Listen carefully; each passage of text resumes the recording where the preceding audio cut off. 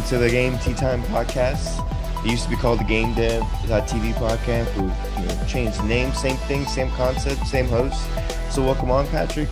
So if you can let the fans know a little bit about who you are, what you're up to, and then we'll go from there. Yeah, totally.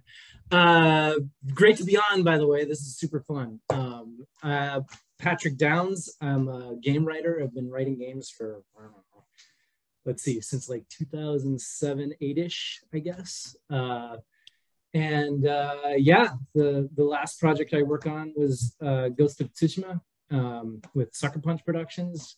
Mm-hmm. Uh, did a few games before that Halo, Just Cause 3 um, and then uh, actually got my start in mobile gaming back in New York. So that was my that's ah. that's how I cut my teeth.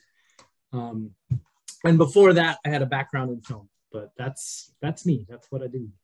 Wow. Okay. So first, let's just get started with how did you get involved with writing? Was it something like you were younger and you were like, I want to write for the rest of my life, or was it something during high school time? Like, when did you get into writing? Yeah. Yeah, it's a good question. I mean, I, I guess uh, the the the real answer is I was always kind of into writing. I mean, even from like when I was a little kid in first grade, I made comic books for my peers. Okay. Um, I actually uh, dug one up a while back, and it cracked me up because I hadn't remembered this particular one, but it was like it was a what, what would you call it? An anthology series. Ah, uh, okay. Five short stories each one had bloody in the title. So it was like the bloody fight, the bloody hunt, the bloody adventure. Oh, you're so into the whole bloody. Was... right, apparently, I was going through a bloody phase. What could I say? Oh, you were what, 14? Uh, Seems like a, about the age you would be like that. right, right. Unfortunately, the ripe young age of seven. So for some reason, oh, the blood okay. thing was really uh, present for me at that age. I don't remember if I was into bloody stuff when I was seven. I know I was playing Roller Coaster Tycoon. So right, right. So, That's healthier, man. hey, but it led to a uh, Ghost of Tsushima, so yeah, exactly. can't go wrong with that. exactly, you know that's the arc. Uh, take the long view, exactly. Yeah, that's funny when you um, said the um, comic book because it reminded me of I created a ca- Captain Underpants. Do you remember that? Like, I made a comic book of that one time. Loved it. I think I made it once and was like, all right, yeah, comic books aren't for me, and then like never made one again. right, right. Well, who knows? Maybe you'll come back you never you never know. Maybe we'll see. um, but yeah, that's that's when I, I, I always wanted to kind of write in that sense, and then it became um, a little older, like element late elementary school. I got I discovered Edgar Allan Poe, mm. which really blew my mind. First of all, because I had to sit with a dictionary and a thesaurus to just to get through the stories and be like, what is he trying? You, what are you really trying to say? Is yeah, it me or exactly. is it you? Exactly. And then I wrote like a bunch of horror stories where I I definitely every word I went through a phase where every word I would try to replace with a, a, a multisyllabic uh, oh, synonym. Oh, so okay. you know, every you know nobody was walking in in those stories. They were always perambulating or expediting. Or, you know, nice. that was that was the Poe phase. I love um, that you went from bloody to like then like Slavic. You said like going that intense. These are intense different uh, areas. Right. Right. Um, and then also like my other love in life is music. And so that was kind of around that time that around the time of 12 it was either going to be writing or it was going to be music or both. And those were the two sort of things i pursued all through school and even through uh, undergrad. Um, got bitten by the film bug and that's where i kind of dipped in uh, went to graduate school uh, in new york for film and did a little bit of that for a while and then shifted over to games. But the writing was always kind of at the heart of it you know um, and I'm curious if you thought that like back then you would ever be doing games later on. No, you know that's that's that's uh, the funny thing because I I think if I went back and told seven year old Patrick, hey man, you're you're, you're gonna write games, it, it probably would have blown my mind. Um, I think at that age it was either like, uh, and this will date me somewhat, you know, it was either games were amazing or else I wanted to be the lead guitarist of Def Leppard. You know what I'm saying? those, those are my Ricardo knows better than me. I, I, may or may not have been playing bass right before this interview. Right on, right on. May or may not be right there. Good man, good man. He was preparing. He knew. Exactly. So that's awesome. So how did you get into like how did you get that film bug? Did somebody was like, hey, come make a film with me, or you were like, you just saw a film like I want to do that? How that no, it was happened? actually a really it was it was a it was a wacky side path because what happened was um as I was pursuing music, because this was actually quite late. Like this was already I was already an undergrad at college. okay. um, and uh, and I was a, a music composition major, um, writing you know like basically contemporary classical music, and I started to get really into staged multimedia productions. I don't know, like kind of stuff like maybe someone like Laurie Anderson would do. You know, you just got Mm. like you know a, an art collage happening in the background and Yeah. actors, music, and all this kind of stuff, right? So I thought, well, I, I need to kind of figure out. I, I want to know more about how to do that stuff. So I went for a summer to uh, NYU and did like their video production program, Mhm. which was really interesting because a lot of the kids that were in that class were basically film majors.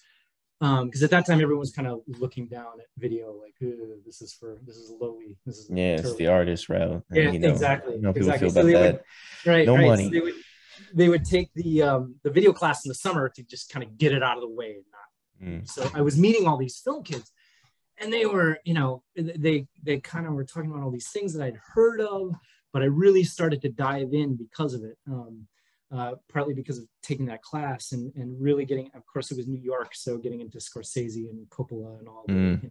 the other Nice New York choices. Yes. Abel Ferrara, I guess, is the other one in there.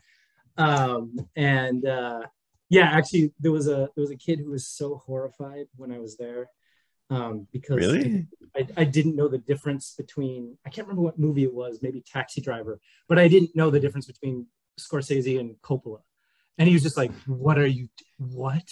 How You're is like, that? That's a sin." Yeah, when you said he was horrified, I, I thought you just showed one of the bloody comics or something. Right, yeah. Look, buddy, seven-year-old me was dangerous, bloody everything. No, but he, he was just like, how can you? Anyway, that really so so all of a sudden I started to look at film with fresh eyes and really kind of dove headfirst into all this stuff. From there, you know, watching the the old kind of European stuff, the new wave stuff, Fellini, Nouvelle Vague, uh, Godard and Truffaut, and all that. You know, the typical film student stuff, right? Mhm. and uh, it, it kind of blew my mind. So I, I went for a summer to figure out how to do multimedia productions. And when I came back uh, to, to Oberlin, I was like, oh, actually, I think I want to do film.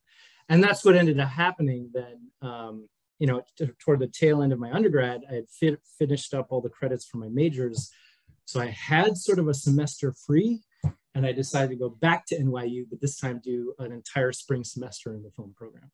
Mm. Um, and that's where it really yeah, and that's where the rest is history. Yeah, exactly. Okay. So let me see if I can piece some of this together. So when were you when you were doing all this, were you like doing anything on your own, like writing or doing film projects? Like how were you honing your craft? Yeah, for sure. Um, look, the, writing all throughout. So, um, you know, I, you know, from the time that we were talking about when I switched from bloody subject matter to multisyllabic subject matter, I just kept writing. I was writing short stories, you know, um, mainly, and uh, and and also like even then, kind of interested in the intersection between music and and writing and trying to figure out what to do in terms of that, not just in terms of song lyrics, but you know, writing these sort of. I wrote some kind of a, I don't know what it was, like a 45 minute beat poem set to music. It What? all- it was It's all like the old uh, version of Lofi. Lo-fi. right. Yeah. Yeah. Exactly. exactly. So there was all that stuff going on, and uh, and then you know, and continuing into undergrad, I was a creative writing minor, so I continued to write like kind of quote unquote traditional prose fiction um, yeah, all throughout school. And uh, yeah, and then once the film thing took over, it took over. Mhm. Uh, So these short Yeah. stories, were they like, did you share them with anybody or did you post them anywhere? Or was it just for you? this it was mostly just for me, or for you know, if it were it was classwork. Mhm. Um, I grew up in like rural Minnesota with a population about two thousand. So That's why you didn't know the wasn't a lot difference between Scorsese and the, of- all the other ones. Yeah. right right so there wasn't a lot of outlets actually i mean the other thing that i did is i tried desperately to get people um, some kids to play dungeons and dragons in my basement you know and it was always like yeah if i really hurted them but there was always three wheelers and snowmobiles and water skiing and all that. Yeah. It seems more Been there. fun at the moment when Right, you're a kid. so a lot of times I would just end up reading through all the the D and D manuals and making up my own adventures, like sort of by myself, you know, So as cool. if, and then Yeah. never actually play through the campaigns. Every Aw. once in a while, I'd, I'd rope some people in. We have a short campaign, but then once again, maybe you know, off to the, Dang. the four wheelers again. So If only they knew you could do that in the world. right, yeah. exactly. oh, they missed out. But that's awesome. So that's also so that's a cool way to represent that you were also building worlds back then when you were younger, without even really knowing it, with the whole Dungeons and Dragons. Yeah, exactly. Um, it was such a, uh, and it was such a, a, it, I don't think that in my mind I connected any of these things either. Like, you know, Mhm. I was writing a short story, I was off writing a short story, and that was a thing where, you know, if I just read Raymond Carver, I'd be like, oh, let's. And then there was this thing over here, which was this game thing that I loved, you know, like that. I, I still remember, like, I had the old, uh, what was it, the Demons and Demigods manual, uh, Ooh, and I- that thing was just torn to pieces from me paging through it constantly, because it, it all it all, all the all the mythological gods and demigods and whatnot, uh, you know, uh, translated into to D and D character sheet terms. But then they'd also had, I remember they had um, there was a series of books about a character named Elric of Melniboné that I was obsessed with. It was all about, you know, uh, I don't know if you know it, but it was like this albino prince who is very weak and and, and kind of, you know, uh, not physically strong himself, but he had this sword called Stormbringer that would suck souls and give him power. Ooh, that's I just cool. remember Yeah. that manual. Yeah, that manual had Elric of Melniboné and all the stats for Stormbringer in there. And it was just like, oh my god, you can do that. Um, yeah, I just I loved that stuff. But yeah, it's cool because you said you didn't really see it at the time, but like, yeah, if you look back and piece the things that you were doing, it was 100% preparing you for what you had to do now. Weirdly, yes. Yeah, and it's almost like you can't really tell someone like, hey, if you want to be a writer, go do all these things. It's just like experience life, follow your passions, enjoy it, cherish them, grow your passions. Like what's it called? Maybe water it, water the writing, water the Dungeons and Dragons moments, Yeah. water the short stories, and then one day it will all come together without you even like planning on it happening. Hundred percent. Yeah, yeah. But, like- that's so important. Follow what you love. You know, Mhm, especially when you're younger. You know, there's nothing. You're you're, you're not gonna uh, not be able to pay the rent when you're 12 because you're playing Dungeons and Dragons, right? Like Mhm. it's okay. You you have that room to experiment too, which is really Exactly.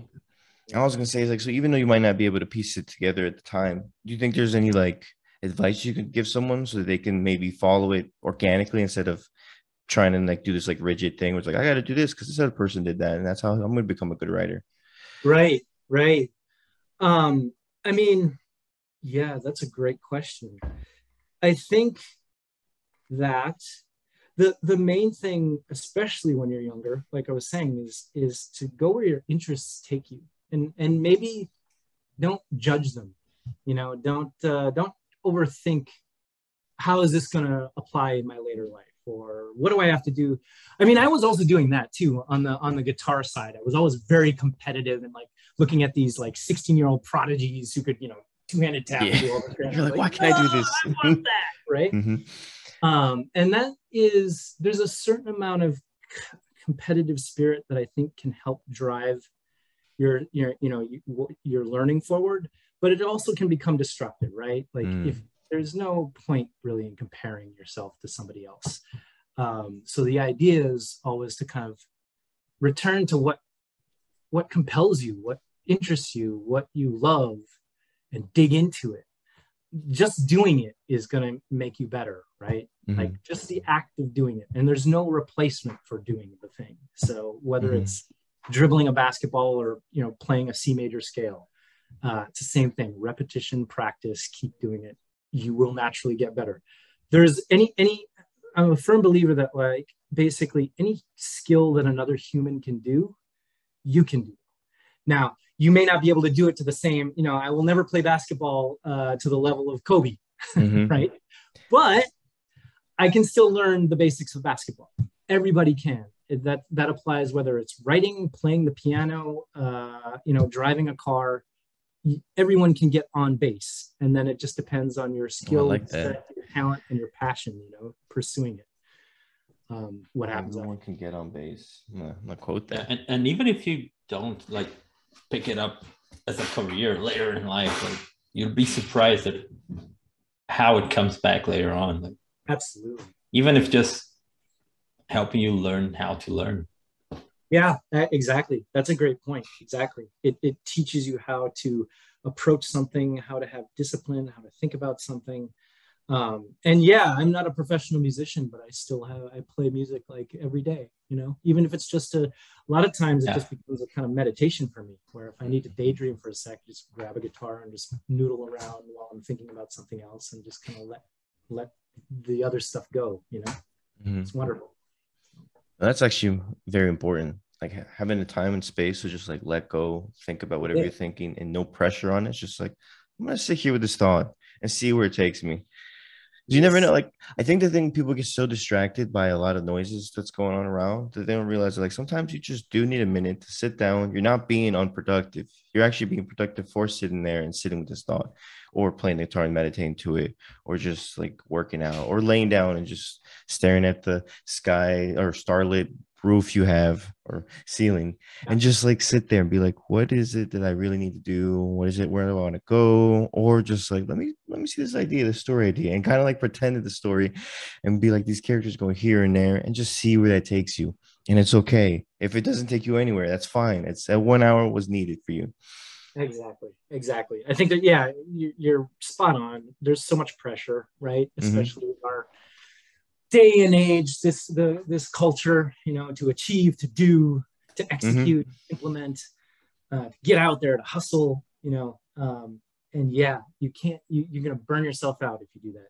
You, you need to build in time for yourself, um, downtime. You know, it's it's. I, I think it's essential to brain growth. 100% insanity. now have you ever experienced burnout Um, I wouldn't call it like full on, full on burnout, but yes, Mm-hmm. I've gotten real crispy from time to time.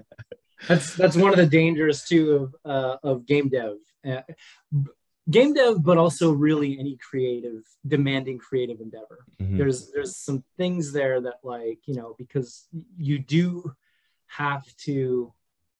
There are times when um, there's kind of energy and a momentum that you can't let go of uh, if you don't want to lose that creative edge and you have to keep pushing but you know you, you do have to manage it because you can get into trouble really quickly and Mhm. easily And so, for that brief moment that you did have that like minor burnout, how did you get out of that? Did you do more meditation? Did you redirect your goals? That- that that was ex- that's exactly it. it it was a combination oh well i'll tell you the full story so like last summer uh, i was pretty crispy after ghost of tsushima um, the director's cut and you know this little like global plague thing we were all dealing with right so i actually the way i had dealt kind of just trying to push my way through it i was literally ordering like uber eats three times a day you know like just blah. Um, In there. I got yeah, I pushed up I, at my max. Um, I was about I'm I'm about 160 now. I was up at 250. Uh, Whoa, what? Oh, Yeah, so- congrats to getting back down. Yeah. right? Um, and so yeah, that's how I was dealing with it unhealthily. And then you know, kind of, I had a moment of like, buddy, what are you, what are you doing here? Like you just tried to walk for a mile and you're like out of breath and your ankles hurt. And it was like, nah, come on. So it was just like wow. reset, recognize Whoa. that this is a thing, and just start to eat healthy and little by little more and more exercise. And I really think that those the the thing about uh, there's it's not rocket science how to avoid burnout. Mhm. It's about taking care of the simple basic things like that, like making sure you have enough exercise or physical activity, eating, you know, not whatever garbage is in front of you, but what what's gonna, you know, eat your chicken and vegetables. Right? There you go. Yes. Be good to yourself, right? um, and it's really about those little things. Get enough sleep. It's it's not it, it does it doesn't take Einstein, but you know you just need to be able to to to recognize the value of that and follow through on it. And uh, yeah, so um, Wow. That's Yeah. an that's intense. I like though the reset and uh recognize. So it's like, okay, take a minute to reset. It's all right. What happened? That was in the past. It's time to move forward and then just recognize that it was happening. Because that's Yep. the first thing, right? Be self-aware. Hey, I'm having this problem. Boom. And now you have to, you've already done half the work. Now you just got to go and like fix that, which is awesome because there are moments too when I felt like, oh, hey, like I'm doing a lot of work, work, work. And then I, instead of resetting, I'm like, let me go do more work because I don't want to feel bad about like relaxing. And it's like, okay, hold on. We need to recognize this is not good. Let me take it back. And then when you do rest, you come back, you're stronger than ever. You can go and take those like five, six college classes and be like, oh, let's go, let's after it. But you do need a moment of rest. And I think it's hard when you hear hustle, grind, get after it. You could do this, sacrifice now for later. And it's like, yeah, but if I sacrifice now and then I'm not healthy later, what was the point? Yep. So, exactly that's what's so destructive about you know hustle culture is exactly that no you can't pin the needle into the red uh, at you know 10,000 rpm every day week after week month after month you're you're gonna something's gonna fail and fall apart you need to pace yourself mhm. um, and that's really i think the key is how to stay energized and interested and also build in time to take it down a notch right Mhm. recover rest it's it's essential Mhm. Beautiful. And so let's get back into the the film school. So did you do a lot of writing there in film, or was it more of just like the creative part of filming? uh, Which- yeah it was writing and directing were my, Okay, my cool. two big things so what happened there is um, you know in the, the film the the program at columbia kind of has a, a particular uh, focus or did at the time where you know you, you come out with sort of year one a, a major short film project and then year two a major short film project and then your thesis film if you're directing or Mhm. thesis screenplay if you're a pure writer and i was very much interested in kind of the, the writer director path so um, uh, i came out of there with a short film that did really well at festivals won a bunch of awards made me like uh, you know hot little junior filmmaker for about five minutes you know, Sundance like basking in rewards. the glow, like, yeah. Star. Uh, but it was fun. It was super fun. And then you know, uh, you you get through that first phase, and then it's the you know the real work starts. Um, and so for a while, I was kind of kicking around indie film circles in New York, uh, doing short films.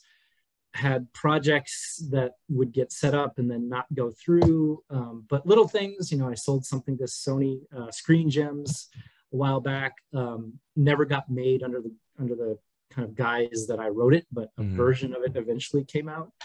Um, and uh, you know, just kind of worked in that space for a while. And Yeah. what happened was literally um, around like 2007, 2008, there was a big writer's strike. And so everything shut down. You, you know, like, and, and really the timing for me personally sucked because I had pitches out to some fairly uh, interesting players and it was something like we you can continue to work but i can't read it so sorry and then we'll pick this back up once the strike is resolved Oh no. So at that around that time a friend of mine reached out and said hey uh, I'm working for this uh, game developer. Um, they do mobile games. And i was like mobile games? What the hell is that? Because this was early days. This was like Yeah. start of the first iPhone, right? And uh, she said, you know, they're they're looking for a writer, and I was like, cool, let's let's do this. Um, and that that was Gameloft, and I started working there, and that's really where I uh, in Gameloft in New York is where I started to kind of return to my earlier interest in games. Now, you know, many years later, after doing film, after doing other stuff, and uh, it was it was an, it was fascinating. I got more and more pulled into that side of things to the point that like once the writer's strike lifted, I was still kind of working on things. You know, Mhm. there was a point where I was at Gameloft, but I was also I, I had to go and do location scouting in Egypt for three weeks because Oh, that's cool. That's yeah. Uh, but uh but more and more and more and more the game thing took over and then at a certain point probably around the time that i worked on just cause 3 that was when i went okay i think i think this is the thing i'm going to do this You're like, this is it. I've made it. now I'm also curious, really quick. Did you play games during all this like time that was happening? Like going to Yeah, school, working on the films. you know it's it's i did when i was little you know like a Mhm. kid and then i started to kind of drift away from from gaming in in any sense until um, almost like after high school and then you know um this will date me but like then certain thing like silent hill really pulled me back in i was like what is this you know i had a friend who was like playing obsessed with this game and then he showed it to me and i was like oh I'm my like, god oh yeah. what's going on here. Um, but then what really kind of started to pique my interest again was um, Halo, the first Halo to a certain extent, but not even really there. It was a little bit later with Bioware stuff. And Ooh, when they started, you know, when Dragon Age and the first Dragon Age, the first Mass Effect, those things start to pop. Mhm. Mass you know, the Effect first 2. Bioshock around that Mhm. time, it was like, oh, what's going on over here? GTA 3 and 4. GTA Um, 4 was amazing. started- yeah, it was incredible, right? Mhm. um, and that's really what pulled me back into gaming hard and then it was like yeah this this wow what what have i been missing out on Now I'm curious. So when you are deciding to write for games, do you feel like you have to like go and play certain games to be like, hey, this is how the story is structured. These are the way the dialogue goes in because it's completely different from a movie because there's multiple choices and some of them you might never see. So I was wondering, like, did you try to use games as a way to help you write, or you were just like, I'm now writing differently. I'm gonna go this route and like share Right. this and see if it's what they wanted. Right. I mean yeah they are extremely different. I think there are there are certain crossovers um, Mhm. because obviously like in, in terms of all writing like if you're talking about uh, character drama conflict all these things you know are are shared across media whether it's you know interactive and gaming or linear like film or or prose fiction right? Um but the the at a certain point you just in writing for a player becomes a different activity and skill set right? You're you're writing for a story that is meant to be played not meant to be consumed uh, you know in one go. Mhm. so that really started to call upon then then i was really just developing a different skill set and a different set of muscles and that's what kind of drew me in. I still you know in particular we always complain right? Everybody the the the the kind of the constant mantra is cut scenes why do we why do we have them? We shouldn't have them. We should have them. We should skip them. We can't skip them. Um I you never know, understood all that. yeah you know it's like I this, love cutscenes. it's right? Right? They're good. They're fun. They're great. Um, it- you know and and at a certain point i think like i i uh, understand the debate and the issues around this kind of thing or anytime you're taking your your uh, you know off the sticks your hands off the sticks but we've been using them for 20 years now so they're clearly useful as a Mhm. storytelling device in some way some way or another 20 30 years maybe more um, Especially the so I newer find games. that sort of training yeah exactly and the that sort of scene work still is very much I, I bring out my my screenplay writing Mhm. toolbox when I'm working on that stuff. It's a direct relationship, right? But other stuff, yeah, it's a different approach, um, uh, and you just have to learn by doing and by playing, basically.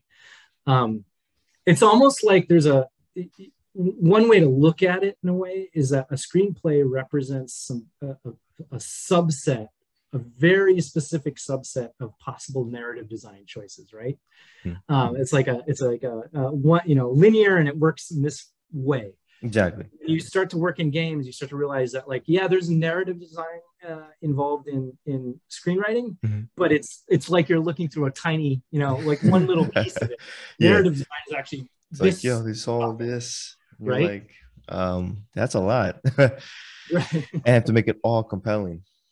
right exactly Mhm. which is the fun and what's so exciting about writing for games right it's Mm-hmm. it's not just the kind of the the critical path um, golden path storyline with this you know the set pieces and, and the you know fancy cutscenes it's also the little moments in fact more so the little moments right like uh what like uh Josh Scherr was talking about something from from um one of the Ghost? uncharted Oh, Uncharted. and like so you know uh he Nate Drake's getting marched through a prison and uh, the the the guard says go left and if the player goes right he says your other left which is such a tiny little moment but if you you know that kind of micro reactivity if you get that uh, a, a hundred times in the game the game starts to feel responsive to you and alive and the world Mhm. starts to feel alive in a way that's really is unique to games that you don't get in any other medium and that's the stuff that's like that's the juice right that's the Mhm. fun. That's that moment right there is why I love games. I love that I'm in this world and it's reacting to every move I make. And it's not because like I mean, back then it was harder, it was more restrictive, but nowadays it's like with all the technology we have, we can make these games so interactive. that it almost feels like real life. And I'm like, that's that's what I want. I want to like Yeah. go into this world. It's like traveling to another planet. I'm going to drop into this world and interact, or it's like time travel, like going to ghost, going back in time and seeing what it was like dealing with this whole Mongol invasion. And it's like this is it. This is like our time travel. This is our way to experience different lives. And I I don't I can't get that from other mediums. Sure, it's like a movies you can kind of like follow the character, but the fact that you can now interact with this world. And I've I've always had this conversation before. I'm like, I feel like when games get better at decision making, like kind of like The Witcher 3 does with the whole morality choices, you can start to like learn how to be empathetic. You can learn, you can start to reflect your moral choices. And that to me, I think is gonna be the greatest thing the games could do later on, where it's like, was that the right choice you made? I don't know. I guess you'll find out as the game progresses. Right. Right. So Yeah. Well, I wonder if actually you have any moments where you're writing, you're like, hey, I'm trying to write this in a way to like inspire someone or makes them challenge their like their mora- morals, or I wonder if you have those moments. Yeah, I mean, that's a great question. I mean, in a way, that's both what I'm always trying to do Hmm. and what I'm I'm rarely um, consciously doing. I mean, on Ah, some okay. level, uh, I want everything I write to be um, interesting, challenging, um, doing something with your expectations, giving you something to, to kind of chew on. Um, so th- I feel like that's, and, and really that's a part of writing character well, because I think if you write for character, you're Mhm. writing for real human beings, at least in your head, right? Mhm. No, and I real human beings are always going to be multidimensional and have unexpected things about them and have um, do things that are disappointing and things that are inspirational and the same person can do both you know Mhm. back to back kind of a thing and once you start to think about it in those terms um, you can't help but write stuff that's going to be challenging whether from uh, uh, the standpoint of, of, of morality or aesthetics or you know uh, something because real people are challenging that way right? Mhm. um, so i always try that's that's that's my own thing is just if i can infuse humanity uh, into a game then then i feel like that's the other stuff is going to come with it naturally is a part of being human Hundred percent. And then when you're trying to do this, is it coming from personal experiences, external experiences, both? Like, how do you really capture the true human condition without it seeming like one dimensional? Like, oh yeah, this is the archetype of this character. This person's always mad, or the bad leader. This person's Yeah. always nice and caring. Like, how do you how do you build Yeah. a three dimensional character? Yeah. I, I, you, you put your finger on it, right? Because the thing you don't want to write is is you, the thing you don't want to say to yourself is I'm going to write about the human condition. You're going to blow yourself up. if you do that. It's going to be like, oh God, what is that? right? uh, here, let me- to go learn about everyone's Kierkegaard real story. quick. You know, uh, you know, so it becomes more about who who is this person? Um, why are they, you know, why are they doing this thing that I come upon them that they're doing? Why do they want the things that they want? Uh, what happened to them in their past to to to make them feel and act the way they are right now? What's their favorite meal? Why? You know, the more you get into the specificity of it, like who is this person? Not writ large, not even an archetype. Archetypes are useful in another way, uh, you know, to set up sort of broad outlines for the player to understand and track and for developers to understand and track but specifics. Who is Mhm. this person? How what word do they constantly use you know? Uh, all of those little ticks and behaviors and likes and dislikes start to accumulate and then they start to feel real. Um, the real trick is of course you can go too far in that direction you know Oh, like at a certain point like uh you know what is this character's this character's favorite color is blue uh, does it matter? I don't know uh, you know. So it, and that can uh, like, sometimes you if you go too far in that direction it can start to deceive you and you think that like oh i'm weaving this web of reality. Yeah. really you just got a, a collection of uh, and it overwhelms you with the details. right. Yeah. so you always want to you know the, the the the other thing to balance it to return to is what is the story i'm trying to tell what is it really what do i think it's about? It's usually not about what i think it is but i at least have an operating idea that okay this is this is got it right. This is a story about power and control. So how does this relate to power and control in this moment? Da, da, da, da, da. and you steer toward that and that becomes your guidepost. And then the kind of the push pull is but who is this person? Who who are they really? How, what are they like outside the frame of this story? Um, so it's kind of both and. I don't know if that makes sense but No, I get that. Yeah. back and forth you know And then how do you prevent yourself from writing a character who sounds like the other character you just wrote? Because like whenever I've written characters, I'm like they're, they're like the same, but they're Yeah. different in my head. It's just like, how do you get that on paper? Yeah, yeah, that's another great question. I mean, again, like thinking about voice, um, partly it comes from just again grounding yourself in who is this person specifically, but there are also, you know, there's there's craft uh, involved in that and, and kind of a bag of tricks. So, for instance, um, there was, just to to tip, pull an example out randomly out of a hat, um, there was a character in uh, uh, Halo Five that we wanted the, the idea was that she was kind of she was an engineer and her kind of worldview was all about objects and things and spaces and less so about people like she was just so in order to capture that in the language we made a rule for ourselves that she doesn't use pronouns and she very rarely uses you know she Oh, so we find ways not to for her to say things without using direct pronouns or names or that sort of thing. And that was just a rule. So we just put that in the ground. Let's try this. Um, it immediately dialed us into a certain kind of voice. Then from there, you start to shape it and make more nuance out of it. But oftentimes, like just doing those kinds of things, you know, what is the a, a rule about who they are and how that translates into language, a rule about the sorts of things they will talk about or won't talk about, a rule about um, this is the lie this person tells themselves, and this is how it comes out in the language. Um, all of those things you, you, you start to dial into a voice. Mhm. Sometimes the voice just hits you, you know, it's just some like, that's yeah. you know, it's sort of a, a secret alchemy. Like I know in my head, this is my grandma and my cousin, and I'm gonna write it like my grandma and my cousin, and it feels real. You know, like there's all Oh, kinds that's genius. I like that. Yeah. Yeah. Okay. yeah, all the time, all the time. Usually, you know, uh, I draw on people I know or have met all the time. Mhm. Little ticks. Uh, And then when it comes to writing like in a team, how do you guys all man like how do you guys develop a character? Is it Mm-hmm. over time you're like throwing ideas and you're like, this is the character, this is our voice, this is what speaks to us? Or is like someone like comes up with one, is like this is the character, someone else comes with it, and you're like, which one do you like more? Because that always just seems like hard. We're like a whole team of writers coming together saying, okay, this is the character, and this is the character, and this is the Right. yeah. Right. Yeah, it is. It's it's it's a mysterious process in a way because you're all just. It, it, there's really no. It, it's just the people in the room, and also not just writers, right? Like you Mhm. also, you know, artists are going to bring ideas about how they want the character, their idea of the character, how they look, how they behave, how they talk. Or you know, uh, designers will have ideas. Uh, obviously, the creative directors and game di- directors have ideas. Uh, so you're in this you're this whole mix, right?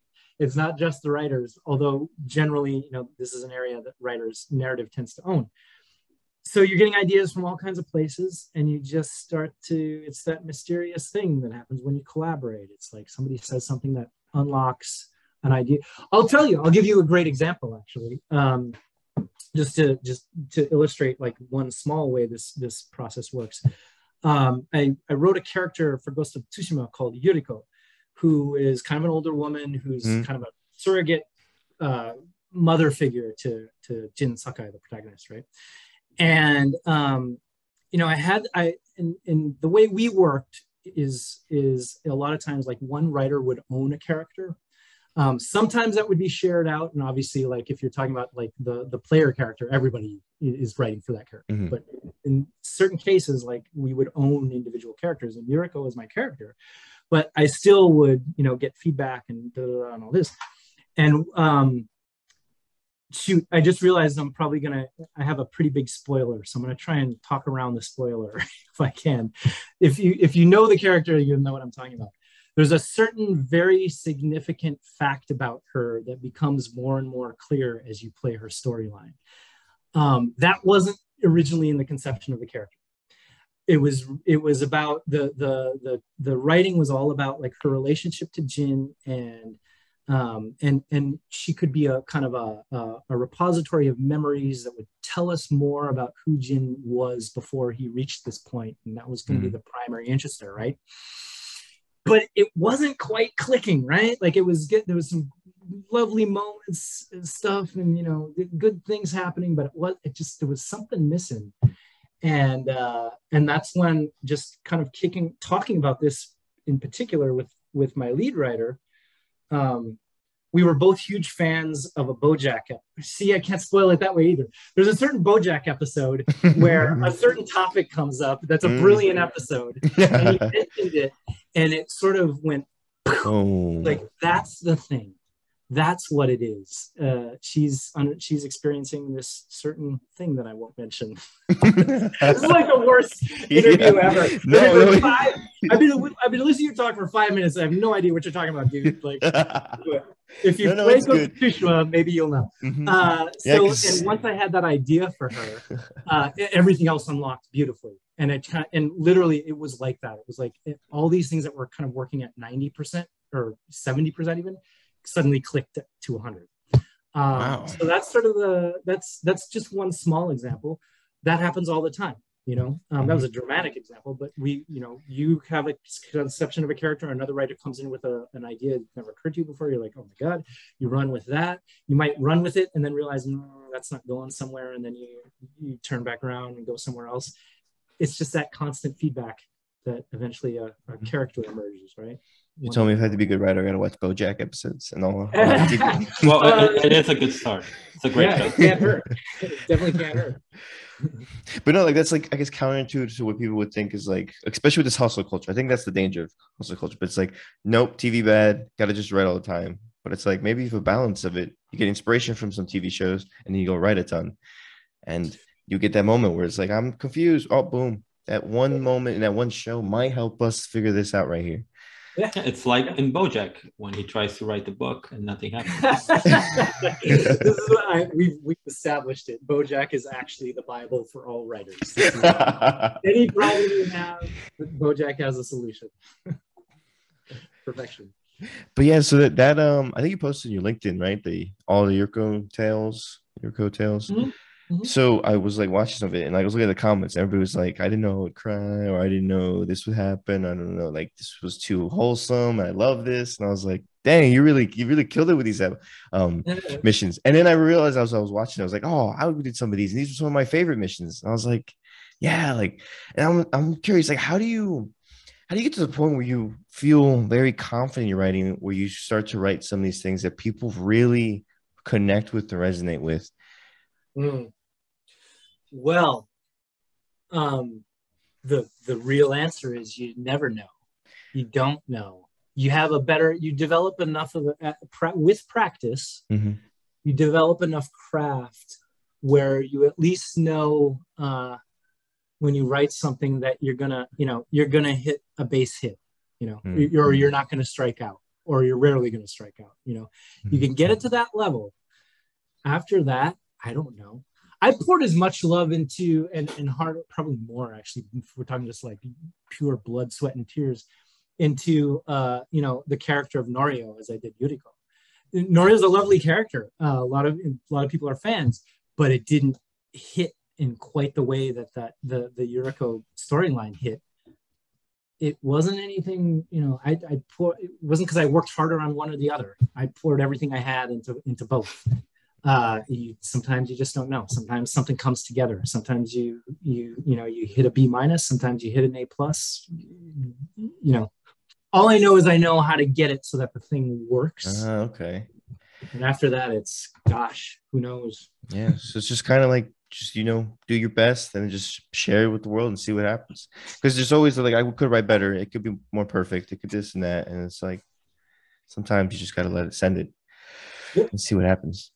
Yep, exactly. And and also, um, it's I, I think it's important actually to not think about that when you're doing it too, because that Mhm. can be another kind of weird head, you know, weird voice in your head saying like, "Eh, people aren't going to like this as much as this other one, you know, and then you're just going to get in your own way.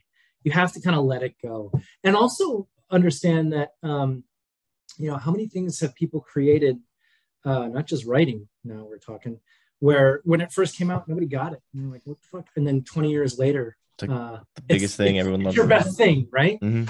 um, and that happens so often that at a certain point you just gotta be like yeah it's it's there's no control over this what i love to do is make the world make the thing and give it to people but i'm not gonna prejudge how they're gonna respond to it whether they're gonna like it or not like it that's that's not my job Mm. i'm just gonna do the thing you know Gotcha. Okay. I'm curious, what is like the writing process for someone working on a AAA game like Ghost Tsushima? Is it like an all day thing? Like how how much work you put into it every day? Yeah, I mean, no, well, you know, I usually just uh, go on autopilot, uh, take a long nap around lunch. Um, uh, yeah, it, it depends on what phase of the project you're on. You know, for sure. You know, there's there's an early phase in a game. If you're if you're in that situation, you're not always in that situation as a writer, where you're coming up with like the the the, the basis of the game you know the the very early stages of like what is this game and what's it about and all that kind of stuff uh, and that feels different from later things because there you're just it's professional daydreaming right you're trying to think like you know blue sky what do we want to do here Mm. um, start to put a few stakes in the ground start to get some some kind of pillars that you can refer to that you know feel right for for the project um, at a certain point, as you start to move more and more into writing uh, um, specific things and move more and more toward hard deadlines, um, the the the process shifts. It becomes more intense and focused. And by the way, I like both. Like I love the daydreaming uh, phase, the ideation phase, um, and and that has a certain amount of pleasure just thinking about all the possibilities, imagining, you know, what if, saying what if a lot. Then as you get focused, it's a it's a it's a kind of an adrenaline for me anyway, uh, thing where it's like, yeah, now we gotta hit this, I gotta I gotta get this thing out, we gotta record it with the actors, we gotta go, go, go. Uh, and that tends to like really focus your energies. And that's also, I think that phase is where things really start to cook. Because at a certain point, you know, you can imagine anything, and maybe it could work, and it's all theoretical until it starts to happen. And once thing starts to get made, I can feel the thing coming to life. I just want to, you know, then I just, I, I want to get in there and make it better, and make it good, and just keep working on it, keep chewing that bone until it gets exactly the way I want it to be. Um, to mix metaphor, chewing that bone until it gets what I want it to be. That's weird. Uh, anyway, you know what I mean? I mean, you might be hungry. Uh, it's okay. Stream of consciousness. Here. um, and and that becomes then the thing, uh, and it's uh, you know that phase is also incredibly enjoyable. So it depends on which phase of pre-production production you're in, uh, in terms of like what the writer's day to day feels like. Um, but you know, and then it's a mix of you have your private writing time, and then you have all of the collaboration time. You know, with other writers, with other departments, that sort of thing, and that rhythm of going back and forth uh, between those two things is also I find very fulfilling. Like that's partly why I'm in this medium. It's, Mhm. it's also why, what drew me to film too is that the collaborative aspect of it. You know, getting, getting, saying something, doing something that spark. You see the spark happening in somebody else, and they take the ball and run with it. I love that stuff. hmm Yeah. Well, that sounds awesome. And then when you're working with people like that, how do you actually no? When you were mentioning earlier about like you're chewing on a bone, how do you know that it's like really good? Do you share with someone, say, hey, like does this does this catch you, or you just reading and you're like, no, it could be better this way, or or I could add this to that. Like, how do you make that into the the bone that you want? Uh, like, thank you for pursuing this half-baked Yeah. let's just let's just do this for the rest of the time. We'll call the episode uh, "The Chewed Bone." No one, I, I can do it. What the hell is people talking about? Chewed bone stuff. Uh, that's good. Um, it's it's the, the answer is all, all of the above, right? Like there are times when I know what I'm after and I'm not getting it, and I want to, and I try different things, and I'm, I'm pushing myself alone to get to the thing. Um, it's also incredibly helpful to get uh, another pair of eyes, right? Um, writer eyes because they know they understand the process better than anyone else on the team, right? So they can they they th- those are your collaborators who instantly get what you're trying to do. um, usually, or have a good sense for it anyway. And their feedback is invaluable. The, also, the I think in addition to writers, your most important narrative feedback collaborators, and unfortunately, it happens at a, a, a by necessity at a later stage, is your actors. Your actors will always tell you, whether they tell you explicitly or not, they're telling you all the time what makes sense about the scene what doesn't what what works about this dialogue what doesn't and i think talking to them asking them questions soliciting their ideas is hugely important for me. Um, definitely not one of those writers who's like no do it this way. I have this thing in my head. You must do it. You know reproduce it please. Absolutely not. Actors are are immensely talented creative professionals and collaborators and you uh, you will learn so much by just being open to their feedback. For sure. You know as the writers you get to choose the actors you get on the the team is Uh, that a different department? Yeah it's it's a shared like so many things it's a shared responsibility. And Mhm. it, and it also varies from studio to studio a little Yeah. bit you know like how uh, obviously writers are very involved in and in s- pieces of the casting process particularly if they are you know they have a, a large role to play in writing those characters. Um, but it's it's always a, a shared responsibility. Um, game director, you know directors uh, often have a big stake in that um, the cinematics people of course uh, have a huge stake in that. Um, so it varies but yeah you do you get to choose.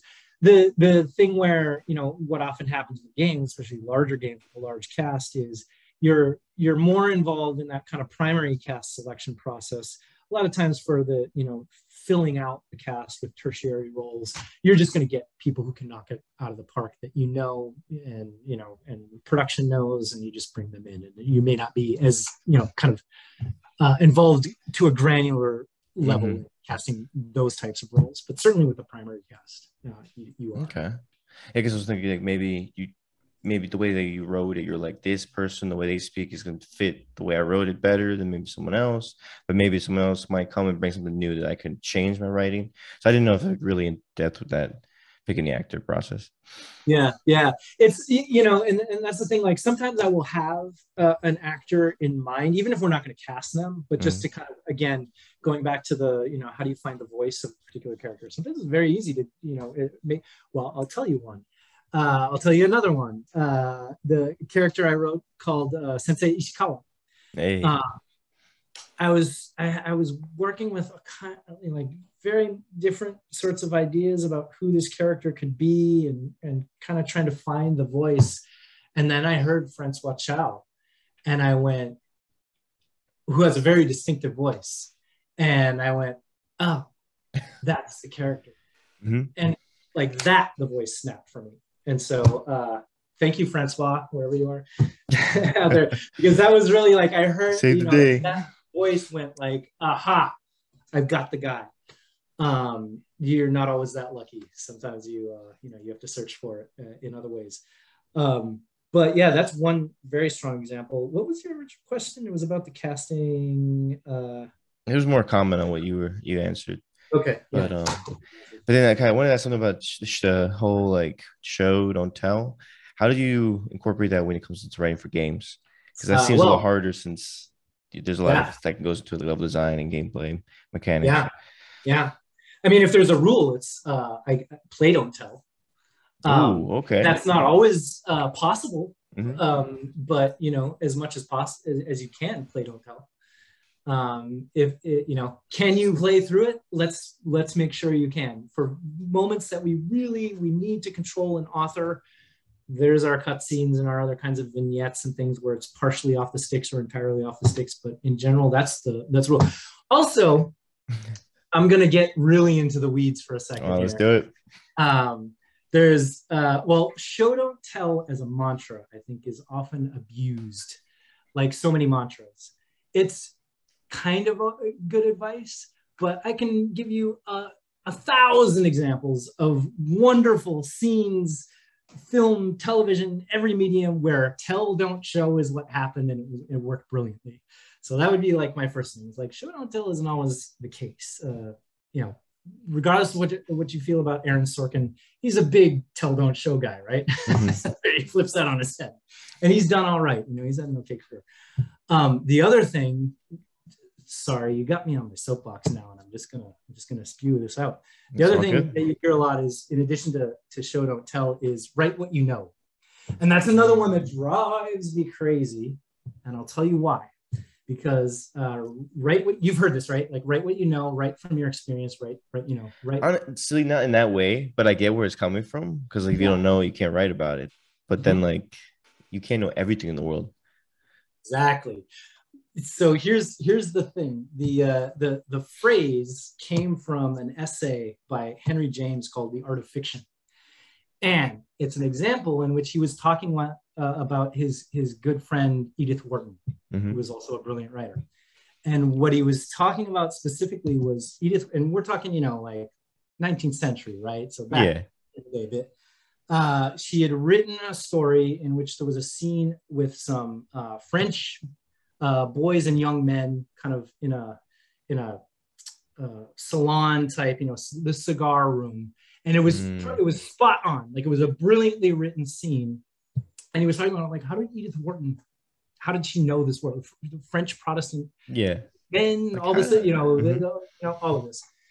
And what he said was, and I'm even going to paraphrase him because it's Henry James, so you know this would be like a uh, take me five minutes just to say one sentence. But to paraphrase him, what he said was, write what you know, but be sure to strive to be one upon whom nothing is lost. In other words, oh. know everything, or at least try to. Mm-hmm. So that's the other half of it. Well, that's overwhelming. Just write what you know, but the job of a writer is to know as much as possible mm-hmm. about the thing you're writing about. Do whatever you have to do. Absorb it through life, through inference, through research, whatever it is. Expand the circumference of what you know, and your writing will become richer. Right? Yeah. Anyway, soapbox uh, rant over. oh, was beautiful. But I think because uh, it takes a little bit of experience to follow the rules and a lot of experience to know when to break them, right? Exactly. Exactly. Mm-hmm. That's the thing. In in every I mean, that that applies whether you're playing jazz or writing a short story or a game or you know uh, driving in NASCAR. You, you get a certain amount of experience and you start to know when to break the rules. right? Uh, so don't break the rules right away, even if you want to. exactly. Give it some time, learn the yeah. craft. But uh, awesome. Okay. Well, uh, looks like we're about uh, almost four, so I'll start wrapping it up. And at the cool. end, I like to uh, ask the guest to do a challenge for the uh, listeners. So if you can come up with a challenge, could be anything related to writing, game, music, whatever you're feeling. So yeah, so uh, see if you got a challenge for all listeners a challenge. Oh, that's interesting. Okay, so I'm gonna lay down a challenge here. Um, what? What? Wow. Uh, I guess we want something more on topic than like uh, bake a souffle before Friday. Yeah, yeah. I mean, you, you could, but like, it probably wouldn't be. It'd be like, well, I mean, maybe if I'm gonna write about making a souffle or somebody has a souffle in the story, then yeah. Right. Well, that's how uh, they get the chewed bone. They can get use it for the recipe. Chew a bone for the week before the weekend is over, chew a bone. There you go. Challenge accepted. Excuse me. Um, what would be a good challenge? Gosh.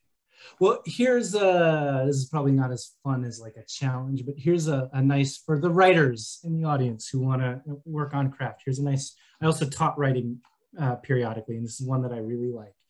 Um, take some time, like let's say in the next week, write about someone you know.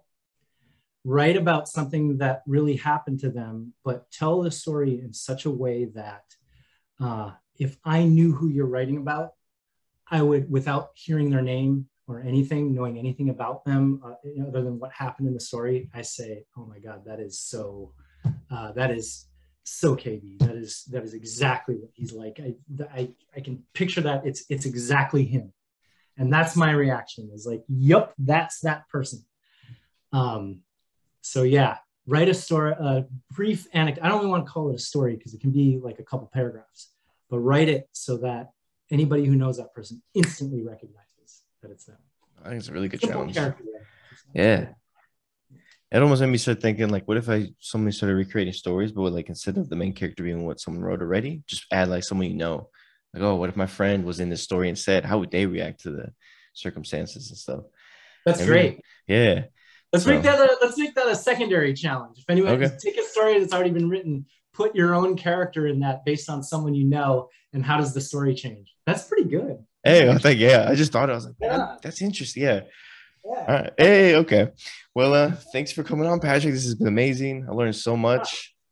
Definitely know never to always use show don't tell. It's uh it's not always good. it's play don't tell.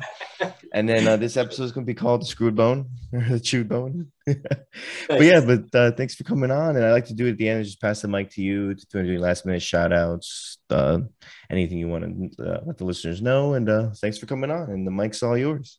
Yeah, of course. Thank you. Thank you for having me. Uh it's been super fun. I don't know what which we do. We gotta let's uh what uh everybody share this with your friends. Let's let's boost Yes. the subscriber rate. Let's get some views and clicks, right? Like Mhm, There you go.